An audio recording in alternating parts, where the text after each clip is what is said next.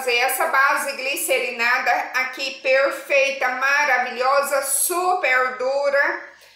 Se vocês querem aprender, fica aqui comigo e veja o vídeo até o final. Se você ainda não é inscrito no canal, inscreva, ative o sininho para você receber todas as notificações. Então, se você quer aprender, fica aqui comigo e vamos com o tutorial. Oi gente, estou de volta com vocês com mais uma receitinha, hoje fazendo mais uma base glicerinada usando o sebo bovino. Aqui está o meu sebo bovino que já está dissolvendo aqui. Eu faço sempre assim, eu deixo dissolver um pouco e depois eu desligo o fogo e tiro a panela para terminar de dissolver desse modo aqui. Aqui nessa vasilha eu já coloquei um litro de água. Vou colocar aqui 800 gramas de açúcar e vou acrescentar também 20 ml de hipoclorito de sódio aqui. Vou levar para dissolver o meu açúcar e já volto com vocês. Agora, vou pegar a minha vasilha, vou colocar aqui em cima da balança e vou pegar um quilo de sebo. Já peguei o quilo de sebo, vou pegar mais 20 ml de hipoclorito de sódio e vou colocar aqui junto com o meu sebo e vou dar uma misturadinha. Vou pegar um litro de álcool e vou acrescentar aqui também. Eu estou usando o álcool 96%. Aqui da parte, eu peguei 500 ml de água e dissolvi 155 gramas de soda. Acrescento aqui e começo a misturar. Vou misturar aqui até fazer a natinha e já volto com vocês. Gente, deixa eu mostrar aqui pra vocês. Olha, já está fazendo o ponto de vela.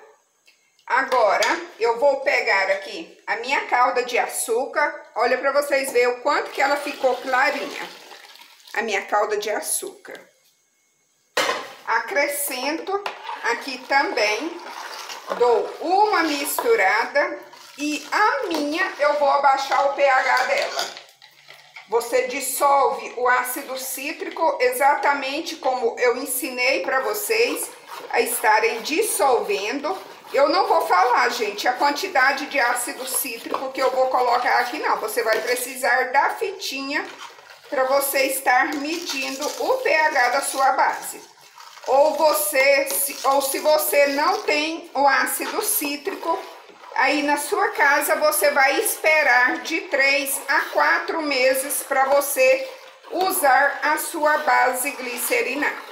Quem não tem a fitinha de medir o pH, uma, cor, uma dica, eu já dei várias vezes, eu vou repetir ela. Quando o seu produto ele está com o pH neutro, ele muda de cor, como vocês estão vendo aqui.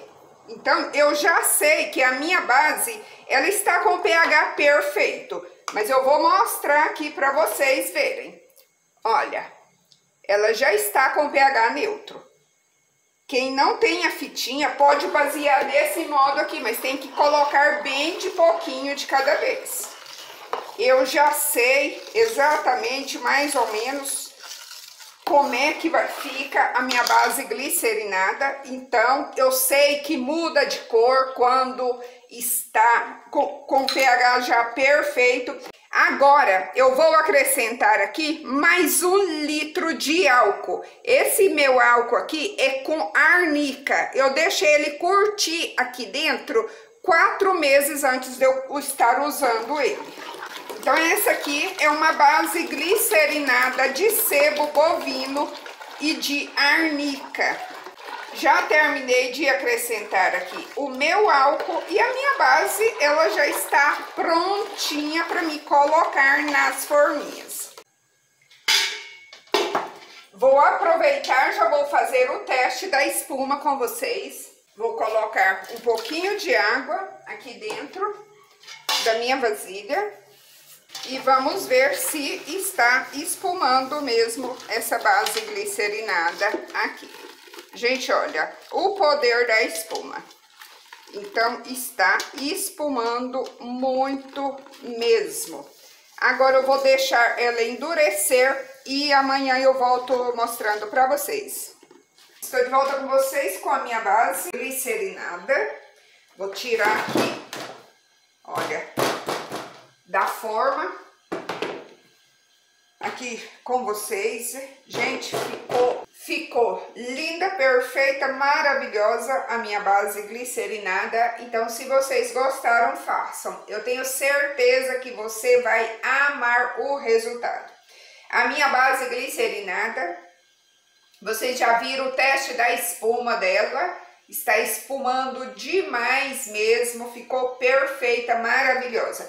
A única coisa que ficou faltando aqui nessa base é que depois, quando eu for fazer os meus sabonetes, eu vou acrescentar aqui mais um litro de álcool aqui na minha base glicerinada, porque aí ela vai pegar mais transparência ainda.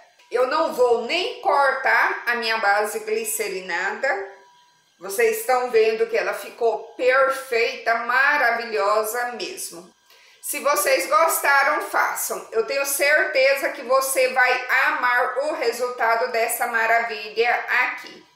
Beijo grande no coração de cada um de vocês e até o próximo vídeo.